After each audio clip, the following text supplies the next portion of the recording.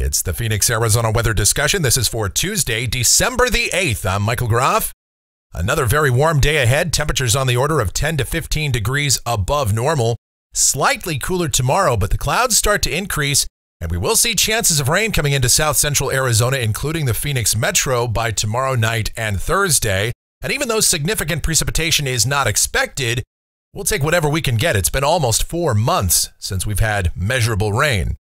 All right, let's talk about it first. Yesterday, quite a temperature variance 80 degrees the afternoon high, 44 was the morning low, the normal high 67, the normal low 46.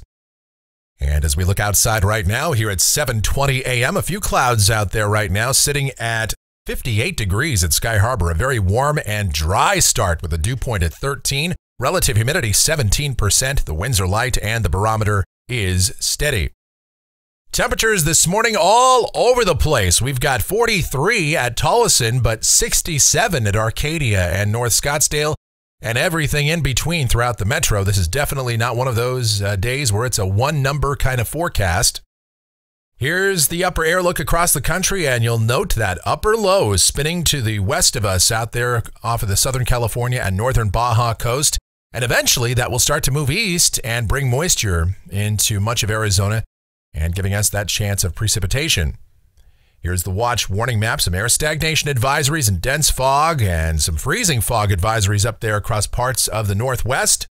Few uh, dense fog advisories over parts of Iowa and Missouri. Convective outlook, no organized severe weather, no thunder expected across the contiguous U.S. And here's the precipitation outlook valid through next Tuesday morning from the WPC. Rain amounts in Phoenix between about one and two tenths of an inch, but we could see anywhere from one half to one inch of rain in an isolated spot or two over east, central, and southeast Arizona with this system coming through. We'll talk about that and everything else going on as we dive into modeling. Here we go. The GFS, the 06Z run, valid at 2 o'clock this afternoon. The overall pattern not really changing a whole lot right now. Big high pressure out here in the west and a trough for the East Coast and our upper low off of Southern California and Northern Baja. And that'll send some mid and high level clouds in here. So down at the surface, yes, partly cloudy this morning, mostly cloudy this afternoon. But despite the clouds, the sun should still filter through and warm us up nicely. Highs upper 70s and low 80s for the deserts. Tonight, partly cloudy in the evening, then mostly clear after midnight. Overnight lows, mid 40s to mid 50s. And then tomorrow, more the same. Some high clouds around, especially by the afternoon. The clouds should start to thicken up then too, but it'll still be another warm day with highs in the mid and upper 70s, at least 10 degrees above average or so. Now, by tomorrow night, we'll start to introduce a chance of showers as the moisture from this system begins to move into southern Arizona. Again, I really think the deepest moisture with this feature still stays to the east and southeast of Metro Phoenix. Nevertheless, at least scattered light showers are still possible beginning later tomorrow evening and continuing into the day on Thursday. A partly to mostly cloudy sky. And by Thursday, high temperatures should fall off quite a bit, likely back into the mid and upper 60s. And then by Friday, that system moves out of here pretty quickly, although still some showers possible across northern and eastern Arizona with another follow up system passing north of the state. Uh, we'll have high temperatures continue in the mid 60s or so, and then the weekend looks pretty nice too. Occasional high clouds, high temperatures mid 60s for Saturday and Sunday. Those overnight lows should be much cooler though, with somewhat drier air in here, generally in the upper 30s to mid 40s. On Monday, another system approaches us, but Again, it looks like this one's going to pass mostly north of here. I do think there should be an increase in clouds with this. There could be an isolated shower or two across northern and eastern Arizona, but in the valley, we're looking to stay dry.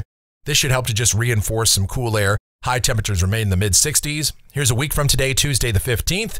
That system passing through. Uh, heights below average, temperatures probably low 60s or so.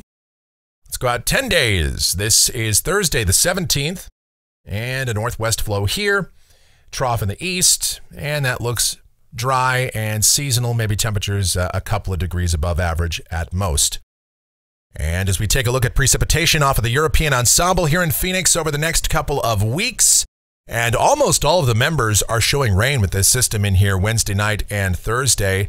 The ensemble mean continues to go up with each run as well, now approaching a half inch. I'm not sure we get quite that much, but it's an interesting trend. And temperatures off the national blend of models. Yes, it's got us up at 80 degrees again today, 78 tomorrow. And then more or less, we should be pretty close to normal for the rest of the forecast period going through mid December.